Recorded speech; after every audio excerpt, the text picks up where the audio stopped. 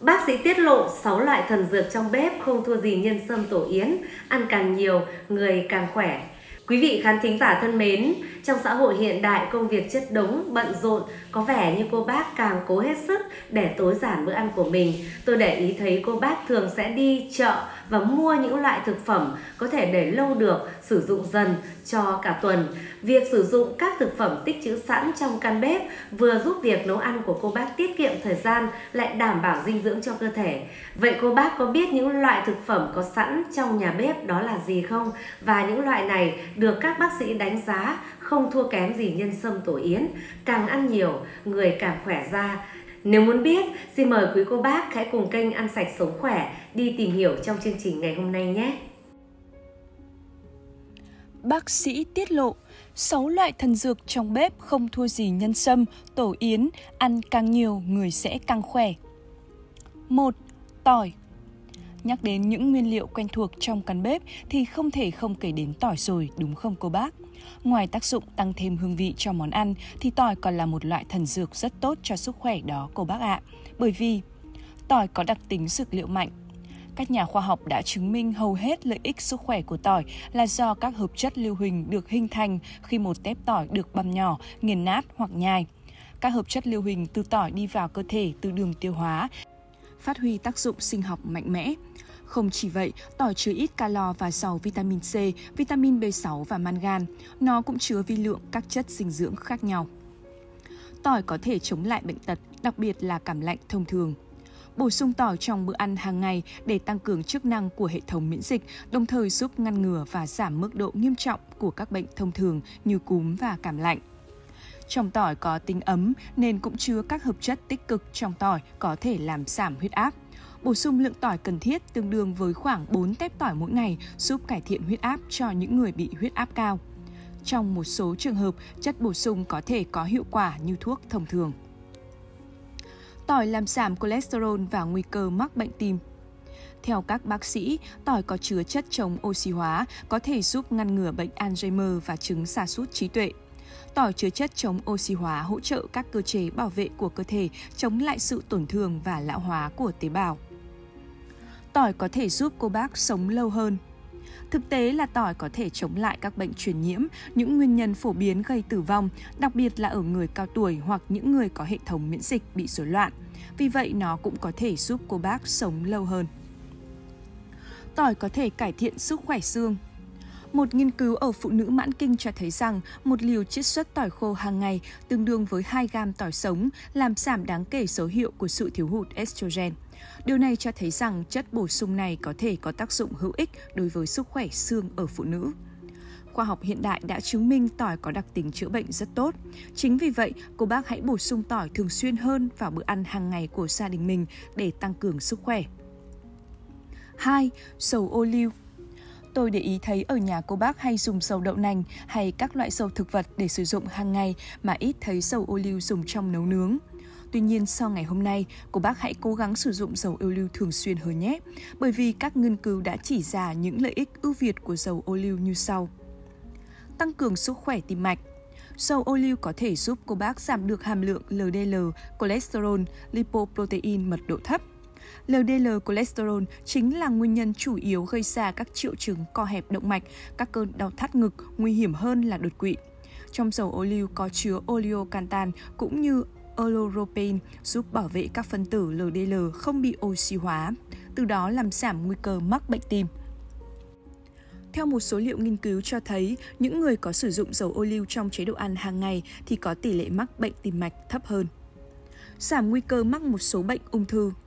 Ngoài các lợi ích được nêu ở trên, dầu ô liu còn giúp ngăn chặn các nguy cơ tiềm ẩn của một số loại bệnh ung thư. Các polyphenol trong dầu ô liu vừa có thể hoạt động với tư cách là một chất chống oxy hóa cực mạnh, vừa có khả năng chống viêm. Ngoài ra, trong dầu ô liu còn chứa oleocantan. Chất này giúp giết chết các tế bào ung thư ở người mà không làm hại các tế bào khỏe mạnh khác. Ngăn ngừa bệnh Alzheimer Bệnh Alzheimer là một tình trạng thoái hóa thần kinh phổ biến nhất trên thế giới. Oleocantan là một dưỡng chất thiên nhiên có trong dầu ô liu nguyên chất. Chúng tạo điều kiện cho các protein bất thường gây bệnh di chuyển ra khỏi não bộ.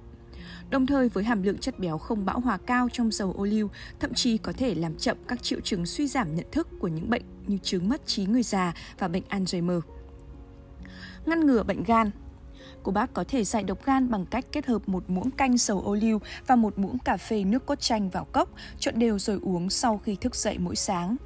Ngoài ra, dầu ô liu kết hợp với nước cốt chanh còn giúp các mạch máu được làm sạch, tiêu hủy các độc tố bám vào thành ruột và thành mạch máu, từ đó giúp máu lưu thông dễ dàng hơn. Hai loại nguyên liệu này còn kích thích nội tiết tố và dây thần kinh, giúp gan hoạt động hiệu quả hơn. 3. Đỗ đen có cô bác nào ở đây thích ăn chè đỗ đen không ạ? Nếu có thì đây quả đúng là một sở thích lành mạnh, bởi đỗ đen được các chuyên gia dinh dưỡng đánh giá rất cao vì những công dụng đối với sức khỏe. Các chuyên gia cho biết, thành phần dinh dưỡng trong đậu không những giúp cô bác kiểm soát cân nặng, mang lại làn da tươi trẻ, mịn màng mà còn có nhiều lợi ích sức khỏe không ngờ khác. Cụ thể, giúp xương khỏe mạnh, Canxi và phosphor là hai khoáng chất rất quan trọng trong việc hình thành nên cấu trúc xương, trong khi sắt và kẽm lại đóng vai trò duy trì sức mạnh và độ đàn hồi cho xương khớp. Điều thú vị là mọi thành phần vừa nêu đều có mặt trong đậu đen. Uống nước đậu đen có tác dụng gì? Nếu muốn phòng ngừa các bệnh lý về xương khớp và giữ cho xương chắc khỏe, cô bác nên duy trì thói quen dùng nước đậu đen rang. Giúp hạ huyết áp Uống nước đậu đen có tác dụng gì trong việc điều hòa huyết áp? Việc duy trì lượng natri thấp là điều cần thiết để giữ huyết áp ở mức bình thường. Đậu đen xanh lòng có hàm lượng natri thấp tự nhiên và chứa kali, canxi và magie giúp giảm huyết áp một cách tự nhiên. Uống nước đậu đen hỗ trợ điều trị tiểu đường. Các nghiên cứu đã chỉ ra rằng những người mắc bệnh tiểu đường tuyếp 1 ăn chế độ ăn nhiều chất xơ có mức đường huyết thấp hơn. Ngoài ra, những người mắc bệnh tiểu đường tuyếp 2 có thể đã cải thiện lượng đường trong máu, lipid và insulin. Một cốc đậu đen nấu chín cung cấp khoảng 15 gram chất xơ. Bảo vệ sức khỏe tim mạch Nước đậu đen có tác dụng gì? Đậu đen còn có tính kháng viêm và chứa thành phần vitamin B phức hợp cao, giúp cho mạch máu được tăng thêm sức khỏe, làm giảm lượng cholesterol xấu và triglycerid trong cơ thể, hỗ trợ cho những người đang mắc bệnh tim được khỏe mạnh hơn. Phòng ngừa ung thư nhờ nước đậu đen Uống nước đậu đen có tác dụng gì trong việc phòng ngừa ung thư? Đậu đen là một trong những thực phẩm có khả năng giúp chống ung thư vì chứa 8 loại khác nhau của flavonoid, hợp chất thực vật có khả năng giảm thiệt hại của các gốc tự do, làm thay đổi tế bào, gây ung thư. Ngoài ra, vì đậu đen chứa nhiều chất xơ nên có thể ngăn chặn sự phát triển của bệnh ung thư ruột kết, ung thư ruột già. 4. Mật ong Mật ong được hình thành từ quá trình ong thợ hút mật từ các loại hoa, có đặc tính kháng khuẩn, chống nấm, chống oxy hóa nhờ vào nguồn dưỡng chất đa dạng.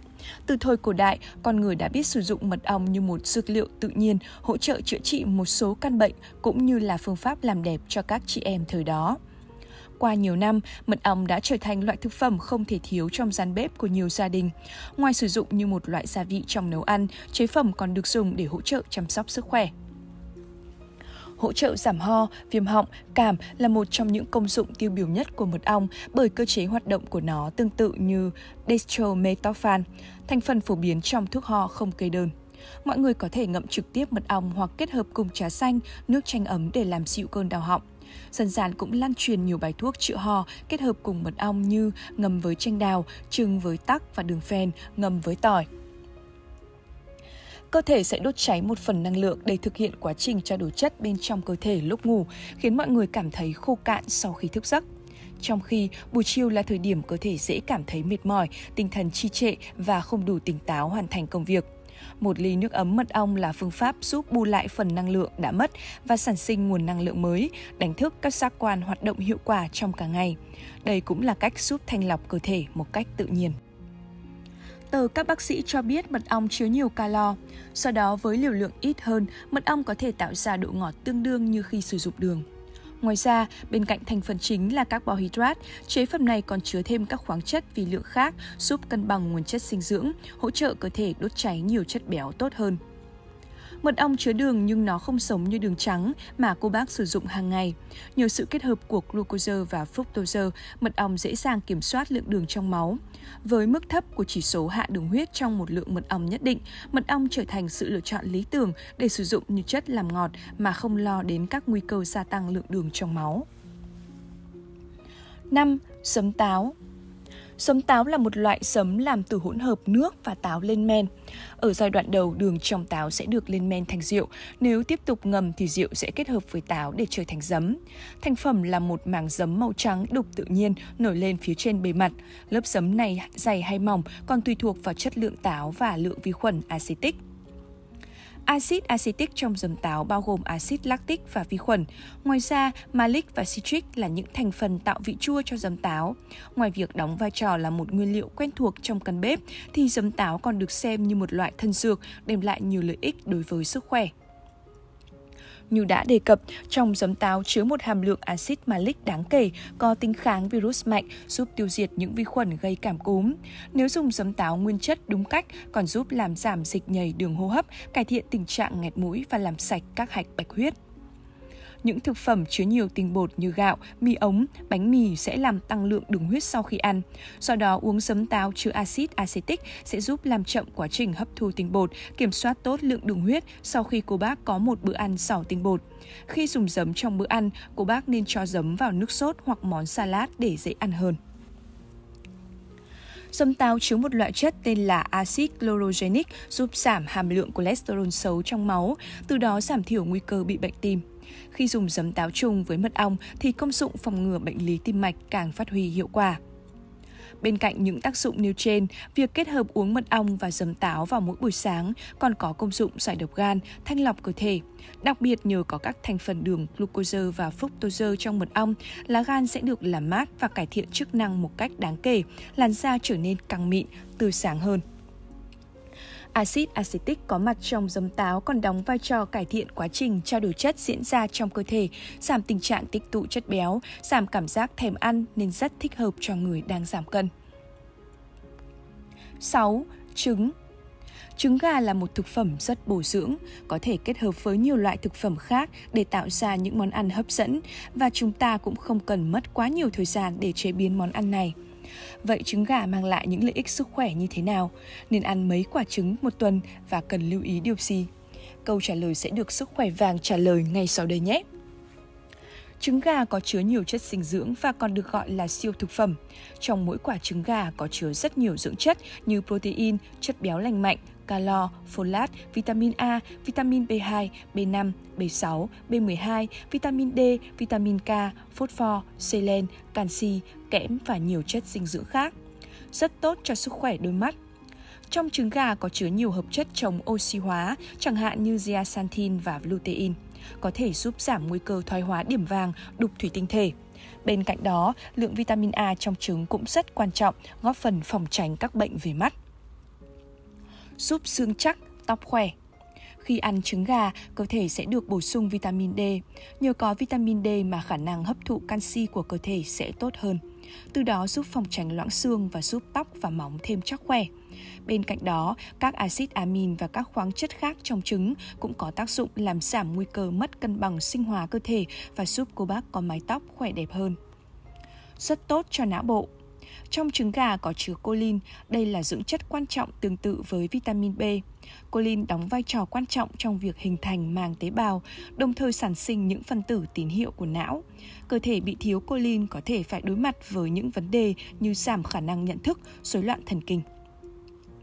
Không ảnh hưởng xấu tới cholesterol.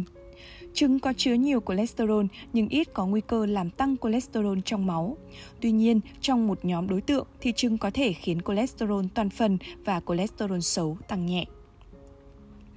Cung cấp axit béo omega 3 giảm triglycerid. Khi ăn trứng, cô bác có thể bổ sung cho cơ thể một số thực phẩm giàu omega 3 và giúp giảm triglycerid trong máu, từ đó giảm nguy cơ mắc phải các bệnh lý về tim mạch.